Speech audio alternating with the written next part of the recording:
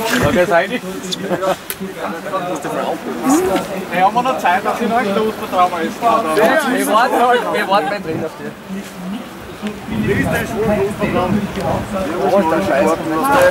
Hey Leute, was geht ab? Ich bin Elias und ihr seht hier The Lance TV und ähm, ja, das Spiel äh, zwischen Salzburg und unserem SK Sturm ist gerade vorbei. 0 zu 5 am Ende. Eine richtige Klatsche, muss man ehrlich sagen. Unsere Blackies von Anfang an unterlegen. Also Heute hat auch alles zusammengepasst, was irgendwie schieflaufen kann in einem Fußballspiel. Äh, eine frühe Verletzung, eine rote Karte in der ersten Hälfte, elf Meter gegen dich. Ähm, der Gegner hätte eine rote bekommen können, meiner Ansicht nach, die auch nicht gegeben worden ist. Und im Endeffekt summiert sich das dazu eine sehr schwache Leistung unserer Jungs. Und deswegen das 0 zu 5 auch dementsprechend hoch ausgefallen. Äh, vielleicht der Ablauf schon nach acht Minuten, die frühe Führung für die Salzburger nach einem indirekten Freistoß in unseren 16er äh, Kopfball von Frederik Guldbransen und der trifft eben per Kopf zum 1 zu 0 für die Dosen, ähm, die dann eben nach etwas mehr als einer halben Stunde auch erhöhen per Elfmeter. Zunächst aber ging dem ein, äh, nicht nur das Foul eben, sondern auch ein Platzverweis für ähm, Schulz voraus.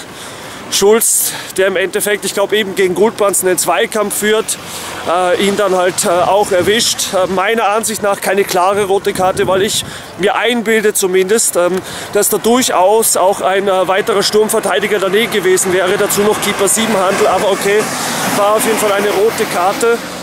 Und den fälligen Elfer verwandelt äh, Berischer, der blöde ich schimpfe jetzt nicht, äh, zum 2-0, nicht weil er den Elfer reingemacht hat, sondern eben wegen diesem verschissen provokanten Torjubel in Richtung eben äh, der Sturmfans. Also das kann man sich einfach sparen.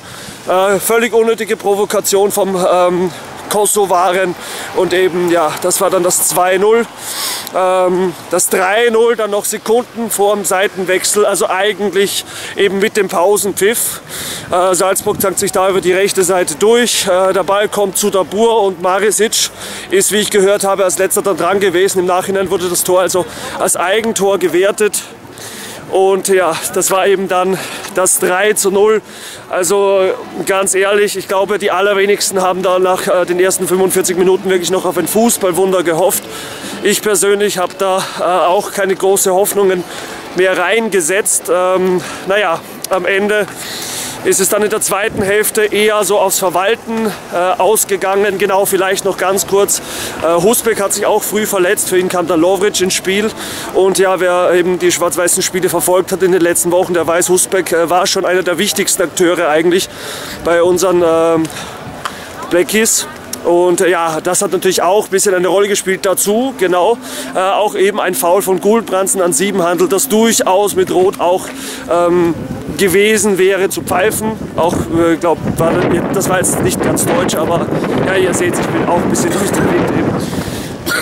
Ja, eben das so die Highlights der ersten Hälfte und dann im zweiten Durchgang lange Zeit eigentlich gar nichts passiert. Wenn was kam, war es nur von Salzburg. Unsere Blackies auch ohne wirkliche gravierende Torchance im ersten Durchgang, vielleicht noch ein Kopfball. Ich glaube, Danny Alava war so in der zehnten Minute. Dann kam eigentlich auch nichts mehr. Und im zweiten Durchgang ähm, noch ein Freistoß aus der Distanz. Ich glaube, der war noch von Lyko. Sonst gab es auch wirklich nichts Vernünftiges aufs gegnerische Tor. Und eben dann auch noch die Tore zum 4 und 5-0 am Schluss. Ähm, ja, das 4-0 von Jonas Dabur, der eben im 16er zum Abschluss dann kommt.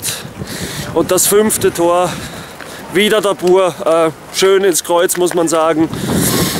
Ja, und das war es dann im Endeffekt auch. Sehr, sehr bitter, die Tabellenführung ist eben ganz nebenbei jetzt auch weg. Äh, Salzburg hat uns überholt.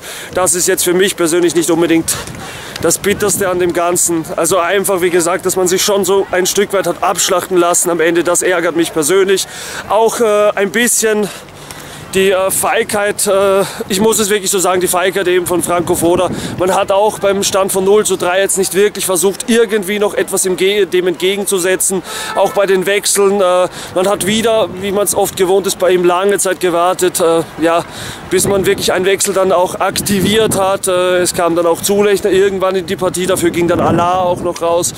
Und ja klar, es hat dann alles zusammengepasst. Im Endeffekt eine bittere Niederlage für die Blackies. Völlig verdient, muss man sagen. Salzburg klar besser. Da darf man sich nicht beschweren. Aber äh, naja, nach dem Spiel ist vor dem Spiel oder wie das Sprichwort so heißt. Von dem her, der nächste Gegner ist der Lask, da muss man sich wieder zusammenreißen und im Endeffekt ja, kann ich da das Resümee nur mehr ziehen, das Spiel so schnell wie möglich vergessen und sich eben auf die nächsten kommenden Aufgaben konzentrieren. In diesem Sinne war es das dann auch schon wieder von mir. Ich wünsche euch was, äh, euer Elias, nichtsdestotrotz natürlich auf die Schwarzen und bis dann. Ciao, ciao.